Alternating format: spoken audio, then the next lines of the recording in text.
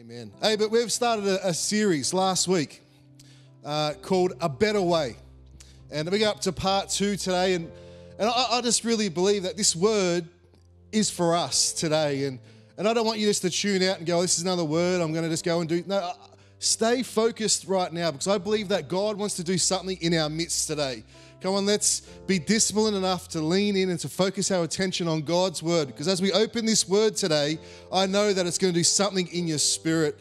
And, um, you know, even as we are in worship just before, I had a word on my heart and I just want to share it. I don't know who it's for, but I just saw some people and it's like their, their life is like a bucket and their bucket is full. And it just seems like if there's just one more thing that comes into my life, it's just going to cause this uh, it's just going to cause a great frustration in my life. And it's almost like you're living life on the edge. Something's just about to tip you over in a bad way.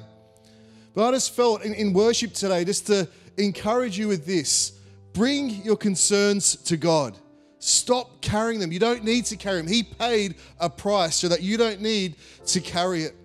I want to just sort of encourage you allow God to go through your life and take out the things that are causing you to live life on the edge in a bad way. Let Him search your heart. Let Him go through your life. And just maybe there's some things that you're just carrying. There's concerns about your children, there's concerns about a relationship, there's concerns about your finances. You know what? I, I want to just encourage you in this time. Sure, there could be genuine concerns. We've got to focus on things, but don't let it weigh you down. Give it to God and apply God's principles to your life. Because, can I tell you something? God has a better way. And He made a better way for us to live here on earth Let's keep surrendering everything to Him and grabbing hold of all that He has in store for us. So I'm just going to pray before we come to the word today. I know that was for someone. Grab hold of that. Come on, don't let this push you over the edge. Give it to God and let Him bring a release in your spirit. So let's just pray as we come to the word today. God, we just thank you for this opportunity that we can gather together. God, we know that we're not here by accident. We're not gathered by accident. We're here gathered under your name, and you're going to do something in our midst today, even, even through this screen. Even if we've got small groups gathered together. God, we just pray that you do something in our hearts today, something fresh, something new. God, let your Holy Spirit breathe life into people in Jesus' mighty name. And everyone said, Amen and amen. Well, thank you, Mel. Have you got your Bible? Let's go to 1 Corinthians 12 verse 31. As I said, we kicked off this series last week, A Better Way, and, and we went through the story of the prodigal son. Somebody that was blessed, but wasted the blessing. You know, I, I, and this whole series is about not wasting the blessings, the things that God's given us. Let's not waste them. Let's be good managers of them so that we can use them to the, to the best and the fullest way possible that God wants us to. So we're not called to waste, we're called to manage what God brings into our life and do it His way. And the scripture we want to, I want to base the rest of this series upon, and I sort of want to focus this series more around relationships, even though the principles we're going to talk about, well, really everything's a relationship, and our relationships uh, affect everything because we have a relationship with our with our service to God, we have a relationship with people, we have a relationship with our jobs. And we're going to make sure that we're, we're good managers of what God's brought into our life so they can be a great blessing. Let's not waste opportunities. Let's not waste the blessings that God brings our way. So 1 Corinthians 12, verse 31, you know, before this verse here, we see that uh, the Apostle Paul is talking to the Corinthians church, addressing an issue about spiritual gifts. Because what it appears like is that they're starting to argue about what the most important gifts are in the church and who's the more important, important people. And Paul's addressing this issue and he's talking about that, hey, they're all part of the body, they're all important, they're all about serving one another. And then he says in 1 Corinthians 12 31, in the message translation, he says this, and yet some of you keep competing for so called important parts. But then he says this, but now I want to lay out a far better way for you. You know, I think we can be living our life a certain way, and I believe if you live in the way that God wants you to live, that's the best way. That's, that's the life that you're called to live. But some of us get caught up in traps and caught up in wrong mindsets. And I just pray as we go through this message today that maybe there'll be a jolt in your spirit just to sort of bring alignment. Maybe you're, you're being driven by the wrong thing. Maybe the way that you're going is, is, is driven by pride rather than living in the grace and the humility that God wants us to live in. So Paul's saying, Hey, I've got a better way. And we can find ourselves in life as we're going through this journey, we can find ourselves in situations where we're like, man, there must be a better way. And that's what we're going to go through as we go through this story because straight after 1 Corinthians 12 31, it goes into 1 Corinthians 13. And if you've been in church for a while, you know what this scripture is all about. It is the love verse. People read it uh, at their weddings, they, they read it, you know, and, and I just think we've got to understand it's not just limited to a wedding and just talking about love in just a, in just a romantic way, but it's talking about that we've got to live a life driven by love. And I don't know about you, but sometimes I hear love and, and my thinking gets, starts to go, yeah, it's like the, the free spirit. It's about living, living a life of love. And, but I don't think, let's not get caught up in the trap of the Hollywood type of things. Let's realize that God is love. And if we've got Jesus in our life, we've got to let the love of God flow through our life. And as we read through 1 Corinthians 13, it describes what love is. And we, we can read that and we can go, man, this is, this is a hard task. I, I don't know how I can do this. But I want to just make it a little bit easier for you today to understand is that what this is explaining, it's explaining Jesus. Know, God is love. And if God is in our life, we should have these attributes coming out of our life. So I'm not telling us to try to work hard at trying to trying to be all these things that it describes. Let's work hard at letting Jesus flow through our life, which is us surrendering and letting God become greater in our life. Because what does it say in 1 Corinthians 13, verse 4 and 7? It says, Love is patient and kind. Love is not jealous or boastful or proud or rude. It does not demand its own way. It is not irritable and it keeps no record of being wrong. It uh, does not rejoice about injustice, but rejoices whenever the truth wins out. Love never gives up, never loses faith. It is always hopeful and endures through every circumstance. Man, what a powerful verse explaining what love is. That's who that's what God is to us. And because we've got God in our life, we've got to let these attributes, that these flow out of our life. And probably for the next couple of weeks, what we're going to do is just pick a couple of these attributes and just work out how can we begin to develop this? How can we become less and God become greater in these areas in our life? And the ones I want to talk about for a few moments today is love is patient and kind. Now, we all know how to be kind. We know what kind is. So I don't want to spend too much time on the kind part because we're a kind church. Everyone that's watching, you are kind. Uh, maybe just be very kind and write some encouragement in the chat room right now to preach, to encourage the preacher. But I, I want to spend a little bit of time about patience because I don't know about you, but I seem to struggle with patience in my life. I don't want God's patience to rise up sometimes. I try to push that down, and, and my sinful nature comes over. And I think if we're all honest, we can all struggle with being patient.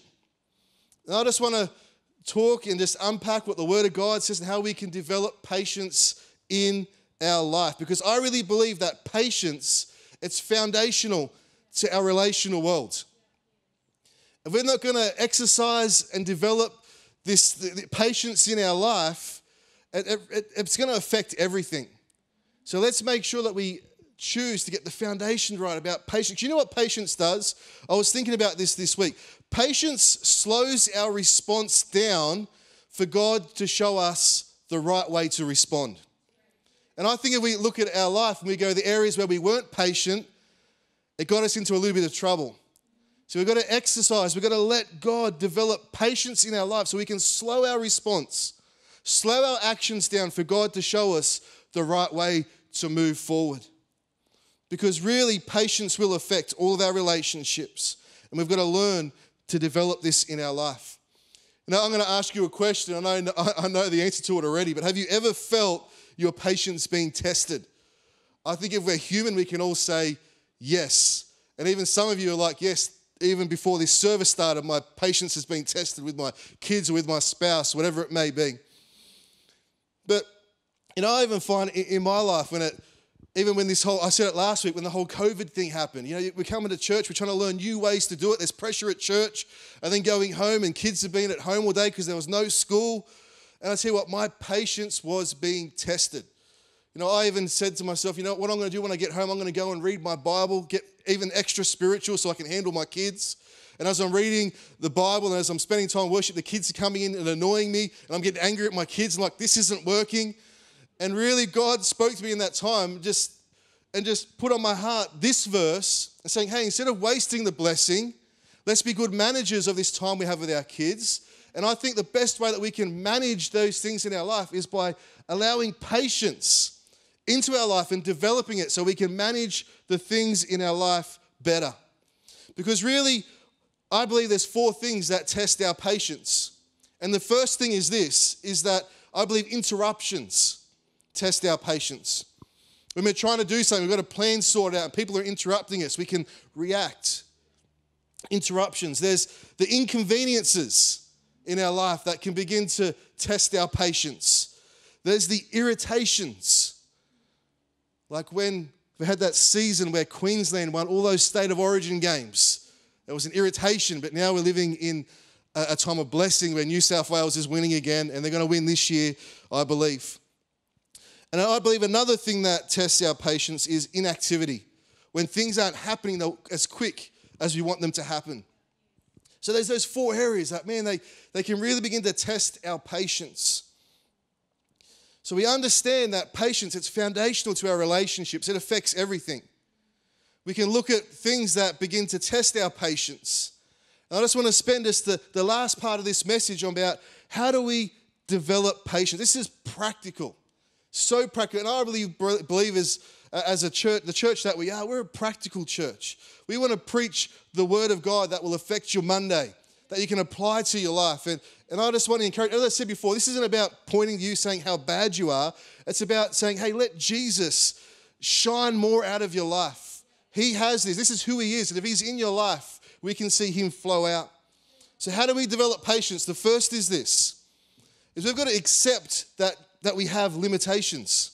You've got to accept that you have limits. You can't do it all. You can't do it all. What are some of the limitations we have? We have physical limitations, we have emotional limits, we have mental limits. There's only a certain amount of things we can remember. We have time limits. We only got 24 hours in a day. We have space limits. We can only be in one place at a time. We're not like God where He's everywhere, but we have limits. We have financial limits. I have limits, and you have limits. We've got to be aware of that. We want to develop patience. We can't do it all. That's why we've got to work out what's important and manage those things well in our life. Because if we don't work out our limits, we're going to be running here, there, and everywhere and doing everything average when God's called us to do a few things really well. Work out what you're gifted in, work out what God has blessed you with, in your relational world, in your work, and begin to manage it well. Focus on what's important. So understand if you want to develop patience, first of all, you've got to understand that you're not Superman, you can't do it all, and that you have limits. Focus on what's important. That's what leads us to the second thing is this. We've got to prune some activities out of our life. We want to develop patience, and you're somebody that's always flying off the handle, always getting angry, always getting frustrated. Maybe you've got too much in your life. It was just like when I started at the beginning, how I said I had that word about the bucket. And it's just like you just got too much going on, and all it takes is one little thing for you just to flip.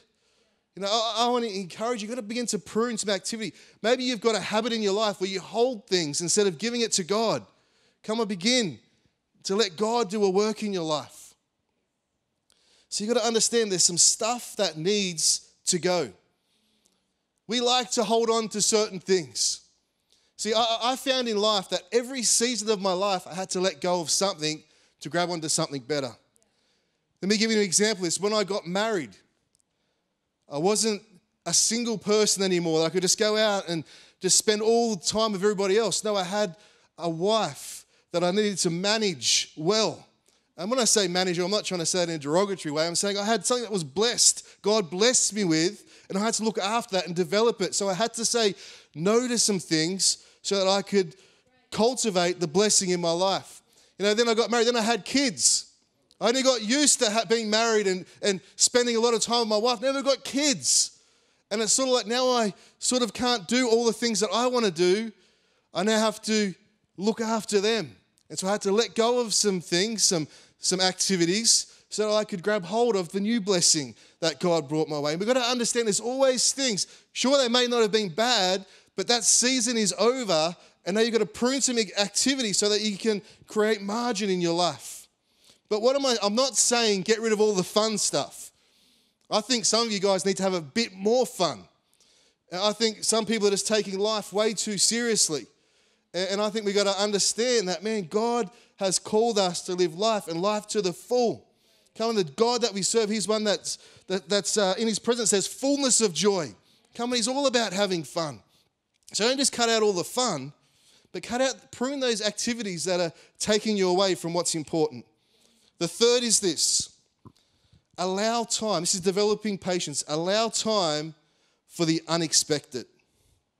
Allow time for the unexpected. This is super practical. Now, if you've got to be somewhere and you need to, and you realize that, hey, it's going to take 15 minutes to get there in no traffic and it's going to take, you know, 30 minutes in traffic, allow margin so you're not stressing yourself out. There could possibly be traffic. So bring margin into your life. There can be, uns- you know, we can plan, plans are good, but we all know that plans don't always go to plan. They don't always work. So allow time for the unexpected. If you've got to be somewhere, allow more time. Realize you could have a flat tire. If you're anything like me, it takes you 15 minutes to find your keys. So allow more time so that you're not rushing yourself. So you don't have to, um, you know, so you can develop patience that way. Allow time for the unexpected. Stop cutting things so fine and putting all that pressure on yourself. The fourth is this put downtime in your schedule. Man, we can get so busy doing nothing. We can think we're so important and we're working, working, working, working. Can I encourage you, put downtime in your schedule. Put some things that are going to emotionally recharge you into your schedule because you're just going to burn yourself out and you're going to burn all those other people around you because you're so driven.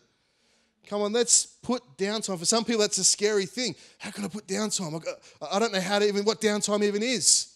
You know what? If you don't learn to have downtime, you're not going to last. Jesus set us that example. He always went to an isolated place, prayed, had downtime. Even in the midst of all the chaos, he would pull himself away and have downtime. Come on, let's schedule downtime in our life so that we can replenish ourselves, so that we can begin to um, serve God in a greater way.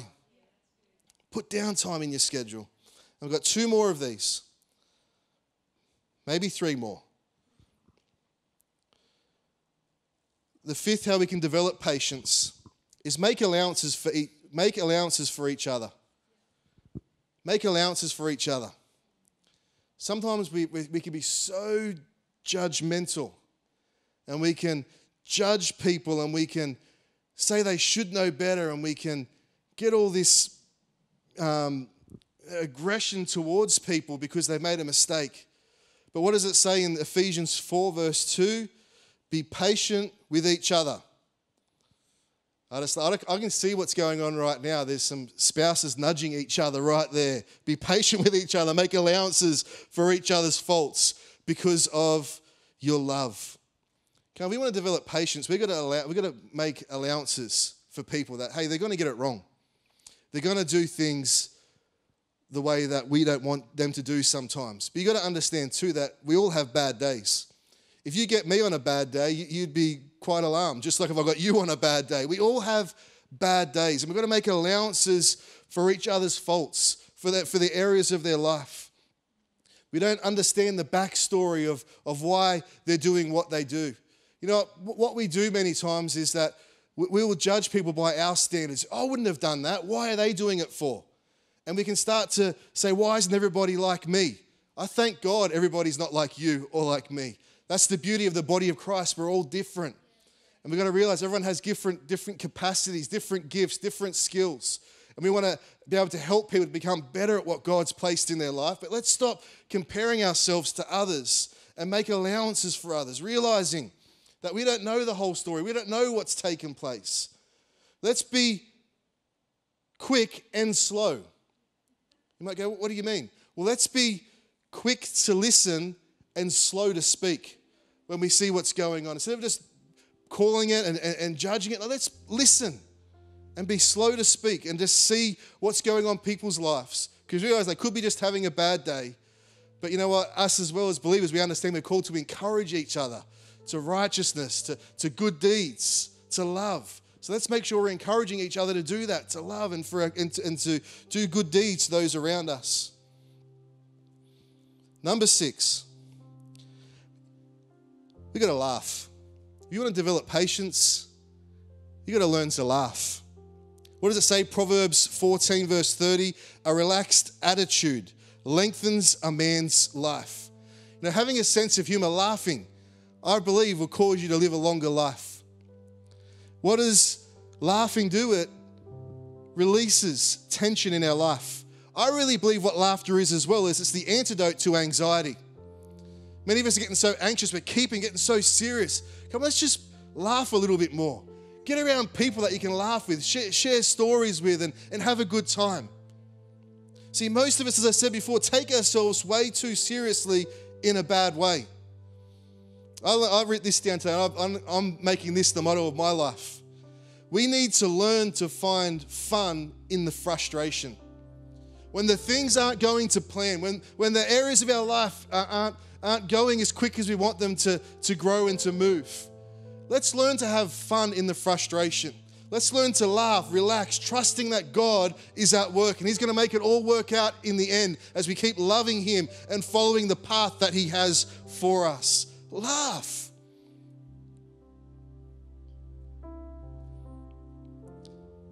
Number seven, we're going to bring it to a close right now, is this. How do we develop patience? Stay connected to God. What does it say in John 15, verse 4 and 5? Remain in me, and I will remain in you. No branch can bear fruit by itself, it must remain in the vine. Neither can you bear fruit unless you remain in me. I am the vine, you are the branches. If a man remains in me and I in him, he will bear much fruit. Apart from me, you can do nothing. What is that scripture saying?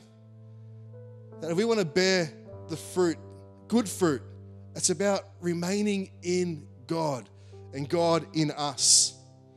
See, there's two important things we can take out of staying connected to God that will help us develop strength and courage. And the first is this patience. It's a fruit of the Spirit.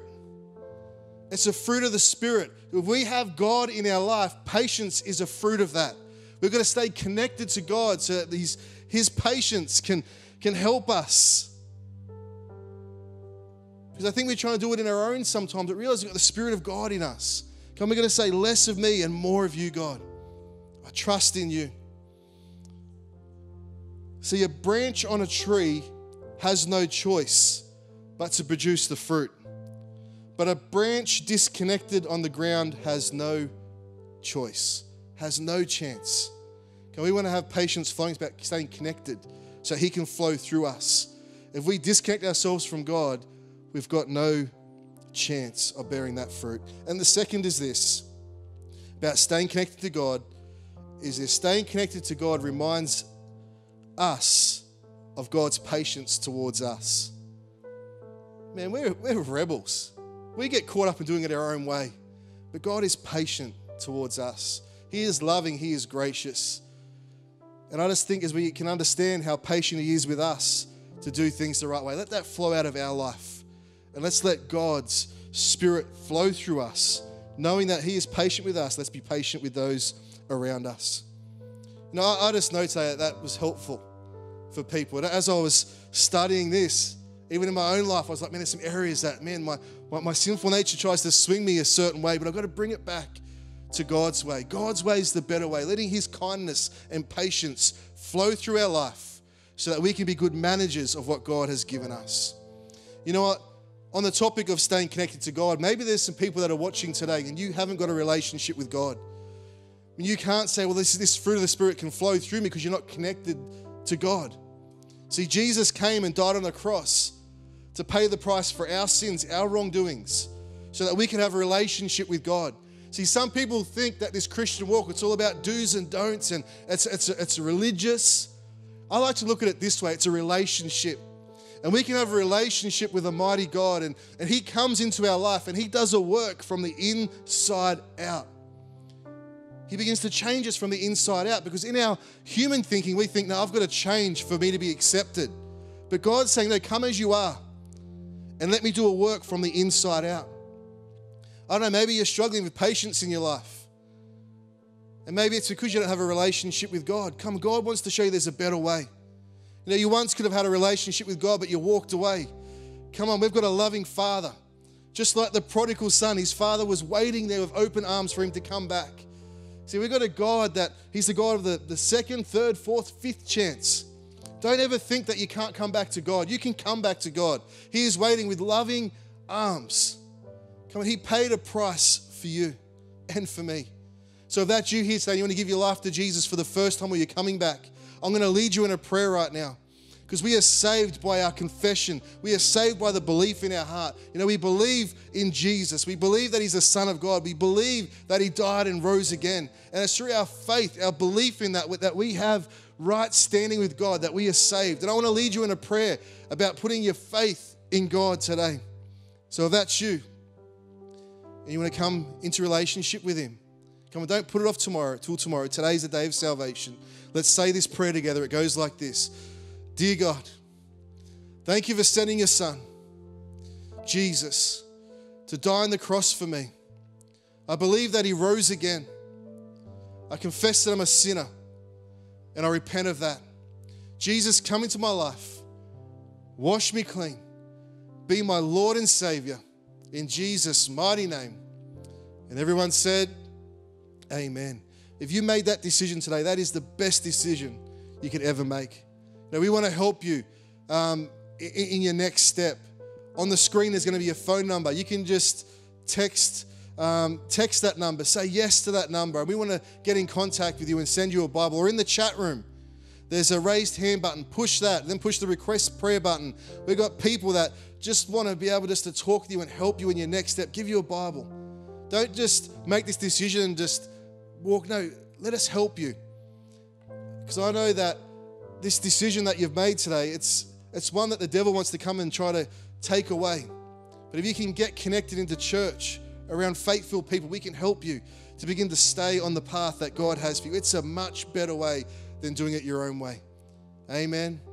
Amen. Well, I'm excited about the rest of this series. We've got two more weeks of it as we keep unpacking, you know, the better way, the life that's driven by love. And today I just know that patience for all of us, we always get tested in that.